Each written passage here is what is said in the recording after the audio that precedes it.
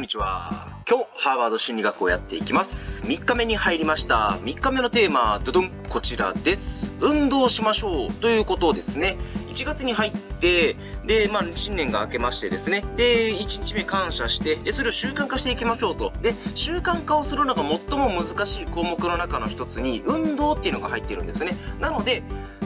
今回52個のワークを用意してるんですけれども早々にこの運動っていうのをやっていくことによって運動の習慣化を図っていくっていうのが狙いになります。で運動ってやった方がいいよっていろんなところで言われるんですけどじゃあ実際効果って一体何があるのっていう話なんですよね。それを、えー今回バンこんな感じで用意をしてみました。実は運動っていうのはですね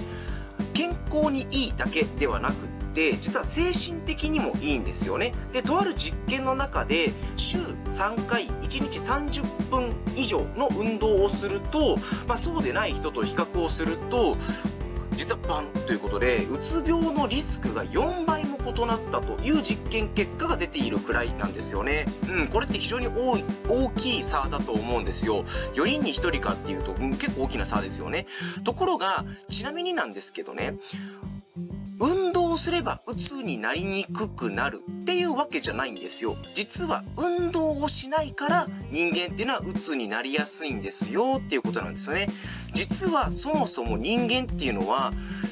体を動かす生き物なんですよ。ね、あの原始時代の頃から獲物を追いかけたりとか、あるいは命を守るために天敵から逃げるために体を動かして生きてきたんですよね。だから一日中今の時代パソコンの前で仕事をしていたりとか長時間会議をするっていうのは人類がこれまで過ごしてきた歴史を振り返ってみた時にこう体を動かすのと真逆の行動をとってるんですよねだからそれが体の部分だけじゃなくって心にも悪影響を及ぼしてしまって結果的にうつ病になりやすい人たちっていうのが現代は増えたっていうことなんですよ。だからよく言われるちょっとここには書いてないんですけど教育が悪いとかその体罰が少なくなったとかなんかねあのーなんて言ったらいいんでしょうね。こう強く言われることが減ったからっていうのじゃなくって単純にここなんですよ。運動しなするその習慣っていうのが全人類的に少なくなったから鬱になりやすい傾向があるということなんですね。だからお父さんお母さんが運動しなかったら子供も当然運動する習慣って身につくわけがないんじゃないですか。だから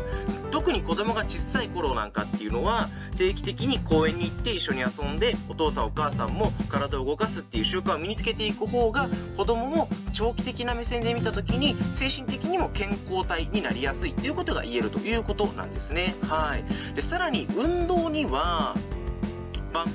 えーこんなに副次効果があるというで自己評価自分で自分のことを、えー評価する力が高まったりとかそれから思考力が高まる。だから運動ができる人の方が学力も高いっていうこと結構あったりしませんでしたかね？例えばあのー各部活のエース級とかキャプテンとかやってる人の方が賢かったりする傾向ってあると思うんですよね。つまり運動っていうのは脳の刺激にもつながるんで結果的に勉強もできるようになるんですよ。それから風邪とかはじめ病気に対する免疫力も高まりますし寿命も伸ばしてくれますしそしてさらに睡眠の質が高まるっていうような以上の副次的効果っていうのがありますので運動にはいいことずくめが言えるというわけなんですわな。うんうんうんうん。そこで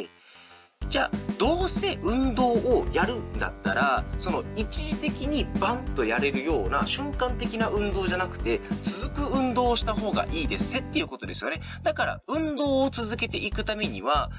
NG 行為としてはどんな運動をするのか例えば何かスポーツを始めるとかそれから筋トレでこういう種目をやってみる回数をやってみるっていうものではなくってどんな運動だったら毎日とか週に例えば3日とか4日やりたいって思うかっていうそういう目線で考えてこれをやこの運動をやろうこのスポーツを始めようっていうふうに考えて実行してみていただけるのが非常にいいと。思います。で例えばじゃあどんなことかっていうと1日10分ウォーキングするとか1日10回だけ腕立てをするといったもうこういった負荷ハードルが非常に低いものから始めるっていうと、えー運動を続けたいというふうに思える思いやすいというふうに思いますんで、えーそんな感じで始めてみていただけたらいいかなと思います。で最終的に時間も回数も増やせるとグッドになりますんでこれを初めから、えー例えば1日1時間ウォーキングをするとか1日50回腕立てをするっていう風にハードルを高めてしまうと意味がないということなんで昨日の動画でもお話をしましたが習慣化をしていくためには極力ハードルを低くてもうちょっとやりたいなとかもっとできるのになって思うくらいのハードルの低さから始める方が習慣化がしやすいということですんで、えそんな形で始めてみていただけたらいいかなと思います。ちなみにもしも一人でやり続けるのが難しいなっていう方がいらっしゃればどんどんどんどん家族や友人を巻き込んでやっていきましょう。はい。実は運動とか筋トレっていうのはこう人に見られながらやっているとか人と一緒に協力し合いながらやっている方がパフォーマンスが60%以上上がるっていう実験データも出たりしていますんで実は一人でやるよりも効果が高いということが証明されています。ですんで一人でやり続けるのが難しいなっていう方に関しては家族や友人っていうのを巻き込んでどんどん一緒に健康になって、えー、いっていただけたらいいんじゃないかなと思います。ということでですね、えー、最後に、お広がってる。うん、最後に、バン。この動画が役に立ったなとか、面白かったなと思っていただいた方に関しては、ぜひチャンネル登録ボタンと、それからグッドボタンを押していただけると非常に嬉しくて励みになります。ですので、ぜひよろしくお願いいたします。ということで、次回の動画もお会いいたしましょう。本日は以上です。お疲れ様でした。さよなら。バイバイ。